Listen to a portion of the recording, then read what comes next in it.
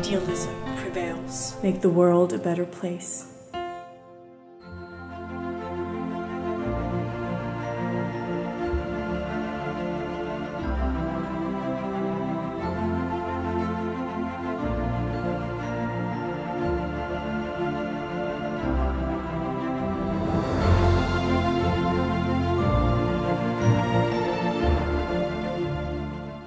Warum würde jemand, der sich für Europa bzw. die Europawahl interessiert und dieses, diesen ganzen Themenbereich nach Gmünd kommen wollen als erstes? Warum Gmünd?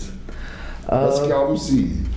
Ja, Gmünd ist irgendwo äh, durch die Grenzöffnung ins Zentrum gerückt und schon ein bisschen Mittelpunkt von Europa. Wir sind geschichtlich ja ein sehr, eine sehr interessante Stadt wir sind so wie Berlin eine geteilte Stadt und jetzt sind wir zusammengewachsen und ich glaube, dass das auch der Grund ist, warum man das mit der Europawahl in Verbindung bringen kann. Wir haben sehr gute Verbindungen nach Tschechien und sehen uns als eine Region und wir äh, lösen gemeinsam Probleme, die in Czeske genauso auftreten wie bei uns und darum glaube ich, spiegeln wir Europa sehr gut wider. Der Kandidat hat 100 Punkte. Das ist der Grund, warum ich damit, nicht nur, weil ich es lang kenne und, und, und lieb habe, aber das ist ja tatsächlich eine unheimlich spannende Sache, diese geteilte Stadt historisch. Und ich bin mir sicher, wir kommen dann nochmal zurück. Ich wollte damit beginnen, Sie zu fragen, persönlich haben Sie, so wie ich auch, und viele Österreicher sich einen ganz, einen ganz eigenen Zugang oder Erinnerungen an, an die Daten die so wichtig waren in dieser Entwicklung, vor allem hier im Grenzgebiet 1989. Wie haben Sie das damals erfahren, erlebt, mitempfunden? Weil ich gehe davon aus, dass Sie von hier sind. Ja. ja. ja. 1989, können Sie sich erinnern, so, wo, so das, das, wie die Information gekommen ist, wie Sie sich gefühlt haben? Ich kann mich sehr gut erinnern. Ich bin Sportlerin gewesen, sagen wir mal so, und habe schon vor der Grenzöffnung sehr gute Verbindungen nach Tschechien gehabt. Und wir haben uns regelmäßig getroffen, um Volleyball zu spielen. Und das war natürlich sehr umständlich. Es hat Visum gebraucht und es hat nur alle zwei Jahre passieren dürfen, dass die Tschechen zu uns kommen und umgekehrt. Und wenn die tschechischen Volleyballspieler zu uns gekommen sind, haben sie immer einen Ort Aufpasser dazu bekommen und sie haben dann bei uns gewohnt und also es war schon sehr viel Verbindung da vor der Grenzöffnung. Und da hat es eine ganz liebe Begebenheit gegeben. Es hat auch immer einen Dolmetscher, äh, einen älteren Herrn, der war immer dabei und die Grenze ist aufgegangen und plötzlich haben sie mich angerufen, Frau Rosenberg, kommen Sie bitte zur Grenze und dieser Herr Jana ist mit einem riesen Teddybären bei der Grenze gestanden und mit einem Sechser Bier. Also für uns war das es war so umständlich, um Volleyball zu spielen und dann war es gar nicht mehr, mehr umständlich. Dann haben wir uns einfach zusammen telefoniert und haben uns getroffen und das ist bis heute. Sie haben ja was, was ist für mich sehr Interessantes gesagt. Es hat also offensichtlich Kontakte davor gegeben, ja. aber bis auf den Sport kaum. Ne? Die Feuerwehren haben, sie, haben glaube ich, schon damals Kontakt gehabt. Und äh, wir hat, damals hat es einen Bürgermeister in Gmünd gegeben, der schon äh, sehr verbindend gewirkt hat und das auch schon ein bisschen gefördert hat. Eben mit der Feuerwehr, mit der Musik, Kultur und Sport. Also ich war halt eher mit Sport in Verbindung mit den tschechischen Sportlern halt. Also war positiv, haben Sie es auch im Umfeld äh, so in, so in Erinnerung, dass es als positiv empfunden wurde? Damals nicht bei allen Menschen. Die älteren Menschen, die erlebt haben, dass halt vielleicht drüben in Gmünd 3 einmal gewohnt haben und dann weg mussten, die haben das natürlich nicht so positiv gesehen. Aber das ist im Laufe der Zeit meiner Meinung nach fast verschwunden. Interessant. Ähm, springen wir doch dann mal 1995 Österreich dann der Europäischen Union beigetreten und zehn Jahre später ähm, Tschechien. der, der, Beitritt dann, gar nicht über den österreichischen, mhm, jetzt mal, mhm. zwei, springen, wir, springen wir weit, springen wir nach 2005. Wie war es dann 2005? Weil es hat ja dann in der Zwischenzeit hat es ja immer noch ähm, also Grenzkontrollen gegeben und so weiter und so fort.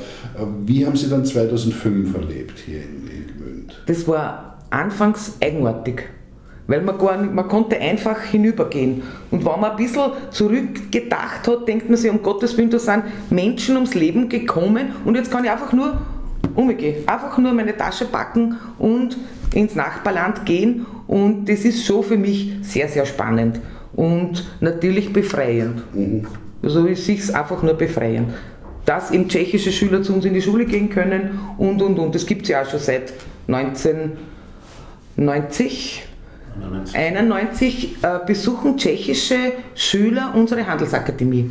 Unsere Wirtschaftsakademie heißt es jetzt. Die maturieren bei uns und in Deutsch, also das ist. Deutsch ist die Umgangssprache. Ist die Umgangssprache und bei uns, jetzt ist aber zweite lebende Fremdsprache auch Tschechisch. Tatsächlich? Ja, können Sie wählen. Wie wird es angenommen? Sehr stark. Ja, das ist ganz ein normaler Weg. Die Schulsprecherin, ich weiß nicht, ob es jetzt auch noch so ist, aber die letzte Schulsprecherin war eine Tschechin. Und das ist ein ganz normaler Bildungsweg bei uns und ist für die Region natürlich sehr gut. Ja gut, da kommen wir, da kommen wir natürlich hin. Ähm, was sind denn momentan so, oder sagen wir so, was waren denn in den letzten zehn Jahren, oder zumindest vielleicht gehen wir noch ein Stück weiter. Ähm, was waren in den letzten paar Dekaden so die wesentlichen Entwicklungsprojekte, die mit Hilfe der Europäischen Union, also auch vor allem mit Finanzhilfe natürlich, stattgefunden haben hier an der Grenze, die auch so den Impact gehabt haben, die wirklich was bewegt haben? Was, was, was fällt Ihnen da ad hoc ein? Was waren da die wichtigsten und größten Projekte, die gelaufen sind? Ad hoc fällt mir ein, ein Kulturzentrum in Tschechien, das Phoenix das ist mit diesen Mitteln äh, finanziert worden. Äh, es fällt mir unser momentanes tolles Projekt des Haus der Zeitgeschichte ein, äh, das so finanziert wird.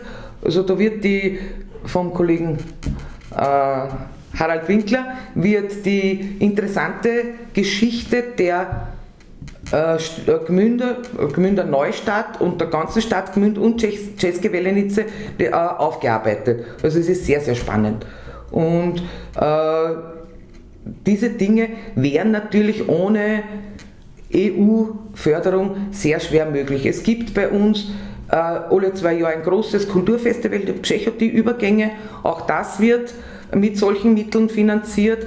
Äh, es gab äh, aus äh, den Film Universum History, wo es um die Grenzregion gegangen ist. Ich glaube, da sind solche Mittel geflossen. Es fließen äh, Mittel jetzt vielleicht, das weiß ich nicht genau, wir arbeiten gerade grenzüberschreitend äh, daran, dass wir den Lkw-Transitverkehr aus Czeske und Gmünd aus der Stadt wegbekommen.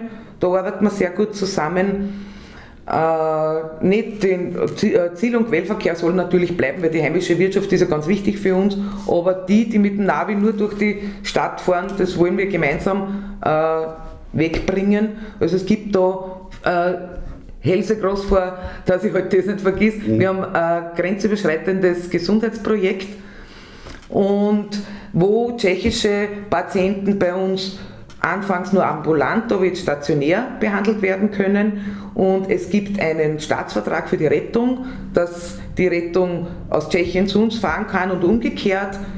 Äh, mit den Feuerwehren gibt es schon lange, also die Feuerwehren helfen sich gegenseitig und ein großes Projekt ist jetzt geplant, Helse Cross Gesundheitszentrum Gmünd. Das wird äh, nahe der tschechischen Grenze wird es neu gebaut, da wird es jetzt im Frühling einen Spatenstich geben und da haben wir auch grenzüberschreitende äh, Versorgung. Dieses äh, Gesundheitszentrum wird gefüllt mit Ärzten, mit Hebammen zum Beispiel, mit Therapeuten und das ist ganz grenzüberschreitend und alles äh, dementsprechend eben gefördert, EU gefördert. Und das hat natürlich einen, schon einen, das, das schlägt dann schon ein. Ne? Natürlich, natürlich. Ja. Ja. Ähm, bleiben wir doch dann gleich bei dem Thema. Dann ziehe ich das vor, es mich ja auch über viele Jahre selber betrifft. Ähm, wie sieht es denn aus mit der Infrastruktur, nämlich vor allem der, der Verkehrsinfrastruktur? Ich habe mit einem Kollegen vorher kurz gesprochen, er schien mir auch ein Bahnfreund zu sein, ich selber war sehr involviert in den Kampf für die Franz-Josefs-Bahn, also die Wiederverbindung der, der, der Deiertalbahn mit, mit Slavonice. Bei Ihnen ist es ja noch ein Stück äh, wichtiger, wäre es doch, nicht? Ähm, ist da etwas zu erwarten? was sind denn die Projekte? Was, also auf der einen Seite heißt die Autobahn, da wird man erst zu diskutieren anfangen. Ich gehe persönlich davon aus, dass sie kommen wird. Äh, das, meiner Meinung nach ist das beschlossene Sache. Ähm, hat Vor- und Nachteile, aber was passiert im öffentlichen Verkehr und, und wie wichtig ist das? Sie haben das vorher erwähnt mit Berlin. Ähm, Ihre, Ihre Meinung dazu, was würden Sie gerne sehen? Na, es war natürlich schon in diese Richtung eine hervorragende äh, Verbindung mit der Franz-Josefs-Bahn da. Das hat sich dann verändert, weil man die Trasse einfach verändert hat. Und natürlich ist es wünschenswert, dass wir Richtung Tschechien da möglichst rasch und gut uns fortbewegen können. Es ganz schlecht ist es ja nicht. Ich will wirklich nicht ganz schlecht reden. Und wenn wir mal Franz Josefs Bahn Richtung Wien betrachten, ich war Wochenpendler jeder ist einmal irgendwo auswärts in die Schule gegangen oder zur Ausbildung gewesen und da, das ist ja unvergleichlich besser geworden und man ist ja bemüht, dass äh, diese Verbindungen gut gemacht werden, dass die Waggons in Ordnung sind, dass man WLAN hat und, und, und, und, und. Und die Trassenführung selber ist halt ein so ein Riesenprojekt, das würde wahrscheinlich so viel Geld kosten, dass es schwer durchfuhrbar ist. Es sind ja ein paar Horn und so, das sind ja, es sind ja einige Dinge geplant und die werden auch sicher kommen. Es gibt ja da eine Strategie, 2020 oder 2025, das weiß ich jetzt nicht so genau. Die Jahreszahl haben wir nicht gemerkt, 20 wird es nicht sein, weil das war ja schon das nächste Jahr. Und ich bin da sehr zuversichtlich, dass auch Richtung Bahn da sehr viel passieren wird. Also ich bin auch ein Bahnfreund. Mhm. Und äh, Richtung den Windobona werden wir halt nicht mehr, mehr zurückkriegen. Mhm. Aber man ist, fährt noch immer gern mit dem Zug nach Prag. Mhm. Man steigt noch immer gern in Czesk oder bei uns ein und fährt mit dem Zug nach Prag, weil es einfach bequem ist. Und weil man mitten in der Stadt in Prag praktisch ankommt und da halt gleich sich bewegen kann. Aber Sie gehen grundsätzlich auch davon aus, dass die Straße Priorität behält und dass die Straßenverbindung ausgebaut wird. Ja. Ich glaube, dass die, dass die Bahnverbindungen verbessert werden und, es, und dass die, der Straßenbau kommt. Wird, ja. ja.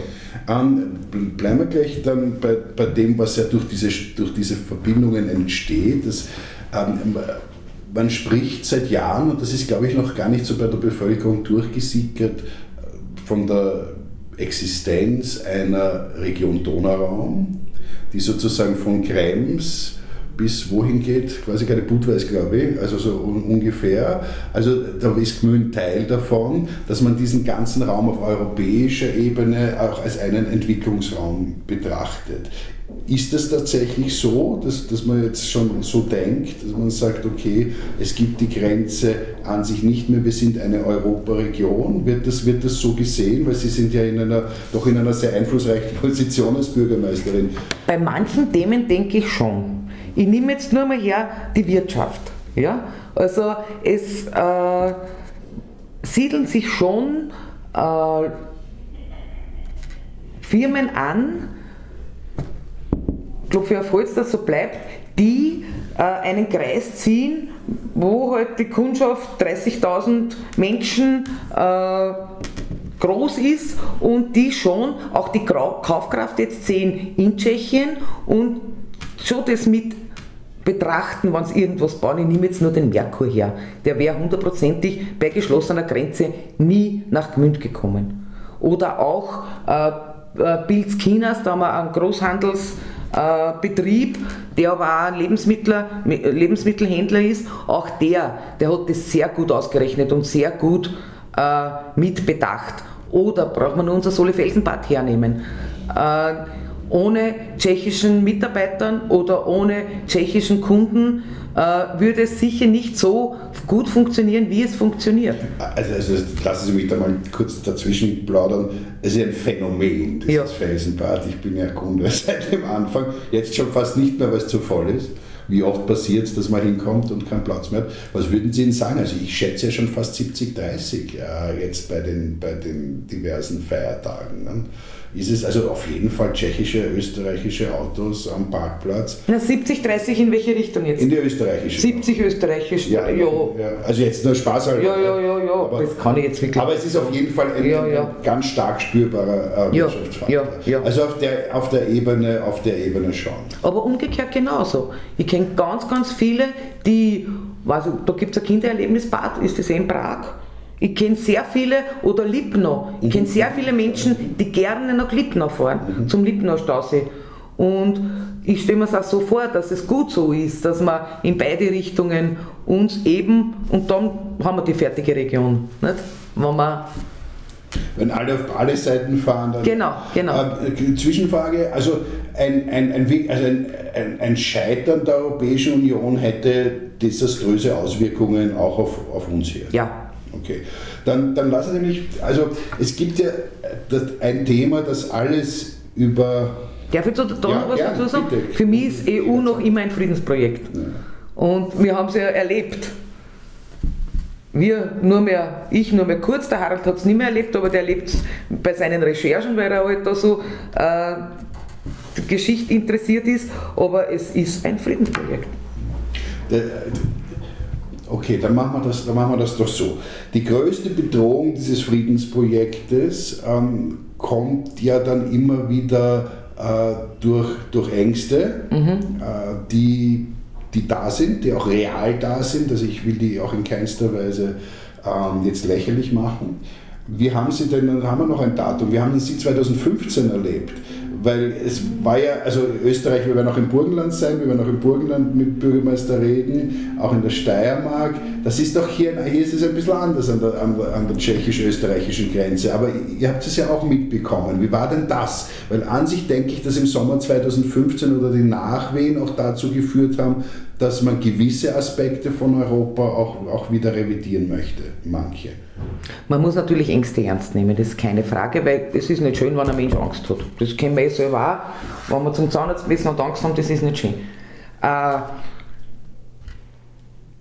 wir in unserer Region waren in Wahrheit ja gesegnet. Was wäre denn gewesen, wenn wir Transitstrecke Richtung Deutschland gewesen wären und täglich wären 2000 äh, Menschen gekommen, die in Not sind und die hätten wir auch versorgen müssen, weil bitte, welches Land welches Wohlstandsland darf sich denn sagen lassen, hoppala, ich kümmere mich nicht um die Menschen, die in Not sind. Das geht gar nicht. nicht? Also wir hatten äh, Asylwerber bei uns und äh, ich denke, dass die gut versorgt wurden. Es gibt natürlich ausländerfeindliche Menschen, denen kannst du das aber auch nicht einreden, dass nicht in Ordnung ist. Das ist einmal so, dass das menschenverachtend ist und menschenverachtendes bei uns nichts verloren hat, aber das ist halt einmal so. Aber im Großen und Ganzen, es wurde ein helfender Verein gegründet mit lauter Freiwilligen, die wir so gut wir konnten unterstützen. Es sind damals so viele Menschen zu mir gekommen, Helga, wir möchten helfen, was sollen wir tun? Jetzt habe ich jeden eingeladen aufs Gemeindeamt, der gesagt hat, er möchte helfen und dann aus dem ist ein Verein entstanden und auch mit einem Begegnungscafé und und und. Natürlich, das hat funktioniert noch immer gut. Jeden zweiten Freitag wird sie da getroffen. Ich persönlich habe, äh, für mich gibt es keine besseren und keine schlechteren Menschen. Ist, also wertschätzend, das ist oberstes Gebot, sage ich mal, dass jedem Menschen wertschätzend gegenüber trete und ich habe keine schlechten Erfahrungen gemacht mit den Menschen, die zu uns gekommen sind. Äh, die Angst, ist meiner Meinung nach komplett unbegründet gewesen und auch jetzt noch, weil man darf nicht davon ausgehen, wenn man einen, einen Mann alleine trifft, dass der gleich, ist ja nicht, das kann ja wurscht, von welchem Land der kommt, kann es passieren. Nicht? Und ich denke, dass gut funktioniert hat. Jetzt sind bei weitem nicht mehr so viele da. Es waren damals an die 200 in der Stadt. Und was ich eher verurteile bei dem Ganzen ist, dass eine Geschäft, Geschäftemacherei dahinter gestanden ist, da manche, dass sie manche einfach mit so äh, Menschen, mit so, äh, wie heißt denn das, Unterkünften für die Menschen einfach eine gute Nasen verdient haben. Und das hat mich einfach massiv gestört. Aber das ist mittlerweile auch weg. Das habe ich auch damals sagen können beim Land. Und, aber in unserer Region hat, hat man nicht gelangen dürfen. Das wäre völlig ungerecht. Jetzt sind Sie aber sozusagen Nase an Nase und grenzenlos mit einem Land die niemanden kon konfrontiert. Ja. Und ich, ich lebe ja dort, also ich sehe es ja auch ganz. Wir haben es auch diskutiert. Wir sind zum Beispiel äh, mit einem Pfarrer von drüben haben diskutiert, weil die Oblaten sind bei uns in der Pfarre mit Neustadt und auch in Welenice. Und da gibt es auch immer, äh, da trifft man sich auch bei verschiedensten Festen und so oder Feierlichkeiten und da haben, sind wir mit dem Pfarrer mal ganz nett beieinander gesessen und haben das auch diskutiert. Und es, äh, es ist auch ein bisschen, hat die Meinung in, Tschech in Tschechien geherrscht, die Menschen wollen ja gar nicht so gern zu uns kommen, weil natürlich die soziale äh, Absicherung nicht so äh, groß war wie bei uns. Und ich weiß es nicht, ob sie es wirklich, da habe ich mich dann Zwang erkundigt, wirklich nicht einreisen ließen oder ob sie auch gar nicht das Bedürfnis gehabt haben, dass sie so stark einreisen in Tschechien. Und wenn wir, wir waren ja jetzt erst wieder auf Bürgermeisterausflug in Prag, du siehst äh, keine Menschen, die fremd ausschauen. Es geht ja nur ums Ausschauen. Weil wie wir die äh, Bosnien-Krise gehabt haben, waren so viele Flüchtlinge da, fremde Menschen, aber die haben einfach nicht anders ausgeschaut, die sind, sind keinem aufgefallen. Darum hat auch keiner was gesagt. Und die schauen halt anders aus. Und in, äh, nach Prag, die Tschechen haben auch Gastarbeiter geholt, wie wir seinerzeit in den 70er Jahren die türkischen äh, Menschen, aber die haben es aus der Ukraine geholt und die schauen auch nicht anders aus als die tschechischen Menschen. Das ist, glaube ich, ein bisschen ein Unterschied vom Erscheinungsbild her und auch von der Angst dann. Ne? Also grundsätzlich sagen Sie, an dieser Thematik sollte Europa nicht scheitern. Ja, sollte nicht scheitern. Es wäre eine Lösung schön, aber wenn es eine Lösung gäbe, wäre sie schon längst geschaffen, sage ich. Das ist einfach ein schwieriges Thema. Und Sie, aber das finde ich, das ich wirklich ähm, wichtig, das heißt, die sind eben auch mit den tschechischen Kollegen, die da anderer Meinung sind, also in einem ständigen kommunikativen Austausch. In, in dem Thema nicht so sehr, da haben wir nur. Na gut, ah, aber gut, ja. eines, eines unter vielen. Aber, aber das ist ja wichtig zu wissen, also es ist ja ein, ein ständiger Austausch über die Themen, die uns alle betreffen. Ja. Das Thema, das ich ansprechen wollte, das uns wirklich alle betrifft, weltweit, aber für mich ganz speziell hier zu sehen ist und das vielleicht für diese Region sogar kurzfristig, mittelfristig positive Auswirkungen hat, ist äh, der Klimawandel. Jetzt müssen wir hier nicht diskutieren, woher, warum, wie, was. Wir mer also ich merke jeden, merken Sie was oder kann man dem jetzt ganz persönlich, glauben Sie dran oder nicht? Also ich muss sagen, ich, ich schon, aber, aber ich, ich, ich, ich, es ist so wichtig, die ja. Frage. Ja. Was es, ist Ihr Gefühl? Es, äh, mein Gefühl ist das, dass es Veränderungen des Klimas hat immer gegeben. Nur jetzt trägt der Mensch dazu bei, dass sich die, die, das Klima einfach rascher verändert. Und da wäre es nicht nur europaweit wichtig, sondern weltweit wichtig dass wir eben etwas dazu beitragen. Da im kleinen Raum können wir nur schauen, hoppala, wie viele Kohlekraftwerke oder wer hat es noch immer mit Kohle oder Atomkraftwerke, die haben wir ja gleich beim Nachbarn und und und. Aber da gehört ein, ein Umdenken jedes Einzelnen, sagen wir mal so, weil wenn jeder auf sich schaut oder auf die Umwelt schaut, wäre ja auf die Umwelt geschaut. Aber natürlich hat jeder Einzelne nicht die Kraft dazu, weil eben große Unternehmen, große Konzerne, weil wieder die Wirtschaft vielleicht wichtiger ist als alles andere. Und äh, es ist ein mega schweres Thema. Aber es ist ein Thema es auch ist in, Thema. In, in, Ihrem Umfeld. Es ist auf jeden Fall Thema. Es geht um die Atommüllendlagerung gleich über der Grenze und, und, und. Es, solche Themen sind bei uns auch wie, wie, wie, für wie wahrscheinlich, obwohl der, die Atomkraftwerke jetzt schon das Klima, also eine, eine andere. Nee, was anderes ist aber in Spätfolgen. nein, Ich denke an die Spätfolgen. nein, aber jetzt kurz, weil Ja, ich ja. habe es ja gar nicht am Radar gehabt sozusagen, wie wahrscheinlich halten Sie das Endlager? Ja, es, man wehrt sich dagegen. Und da sind wir auch um Hilfe gebeten worden von da drüben, von, ich will im Grenze nicht mehr sagen, von Tschechien. Und da hat schon äh, Zusammenstehen gegeben und schon Unterschriftenaktionen und und und, damit es nicht kommt. Aber irgendwo muss es halt hin, das ist das Problem. Und ich denke da jetzt an die Spätfolgen, wenn es nicht unbedingt jetzt auf das Klima einen Einfluss hat. Ähm, das heißt, es wird, auch, es wird auch darüber nachgedacht, das hat ja dann auch wieder viel mit dem Verkehr zu tun, aber das betrifft uns ja alle überall, spezifisch auf Europa. Und schauen wir mal auf die Wahl. Wir haben ja ganz fest vorgenommen, wir werden das in keinster Weise ähm, parteipolitisch machen. Aber es gibt, es gibt so eine, eine Grundsatzauseinandersetzung offensichtlich wieder zwischen der sogenannten Linken und der sogenannten Rechten. Und äh, da, ist, äh, da ist Europa äh, so, ein, so ein bisschen ein Schlachtfeld und diese, und diese, und diese Wahl äh, wirklich entscheidend. Äh, was wären denn so Ihre Befürchtungen, äh, das passieren könnte, wenn die Wahl nicht wirklich proeuropäisch ausgeht? Ich gehe mal davon aus, dass pro-europäisch ausgeht. Auf jeden Fall. Weil auch, ich kann jetzt nur für Österreich reden, ne? äh, weil auch, wenn wer Richtung rechts abdriftet, die vorher EU-Gegner waren, werden je, jetzt irgendwo auch zurückgeholt wieder in Richtung EU. So habe ich den Eindruck. Und, Sie, und warum glauben Sie? Weil, weil man so sagt, man muss sich gegen außen, außerhalb der EU verteidigen. Warum ist das? Na, weil sie nicht dumm sind, weil sie gewählt werden wollen. Nicht?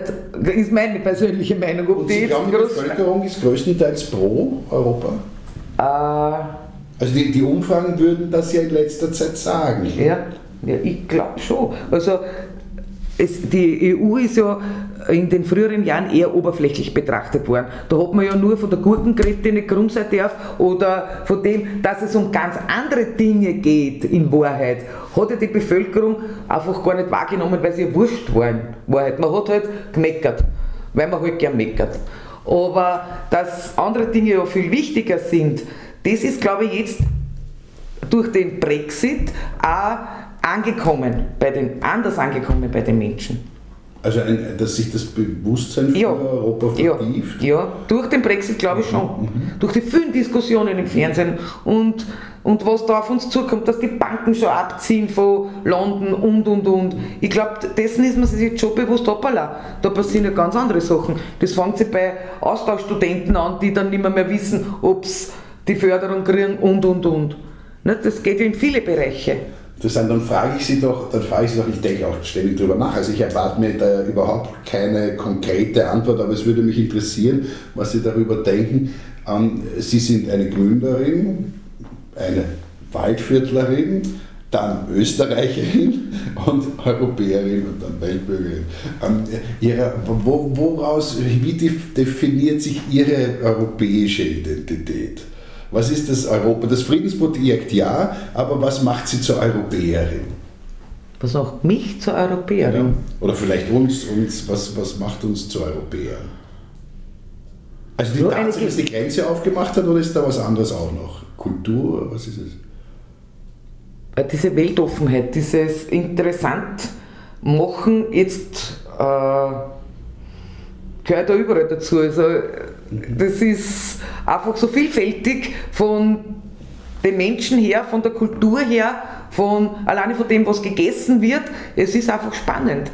Wenn ich nur das als normale Helga das jetzt betrachte, ohne in die Tiefe zu gehen, was bewirkt rechtlich oder was kann ich herausschöpfen aus, aus Europa. Es macht schon was mit an. Also ich, mich druckt ja nur her, wenn ich die Bundeshymne her, muss ich sagen. Und, aber auch jetzt die Europahymne, die kann doch was. Es gibt Gmünder in Europa. Wir haben einen tollen Verein, der heißt Gmünder in Europa. Und da treffen wir uns alle zwei Jahre in einem anderen Gmünd. Und da gibt es dann immer den Europaabend. Also wir sind im Vorjahr in Gmünd in Kärnten, neun Gmünder Bürgermeister beieinander gesessen und das Zelt war voll Gmünder.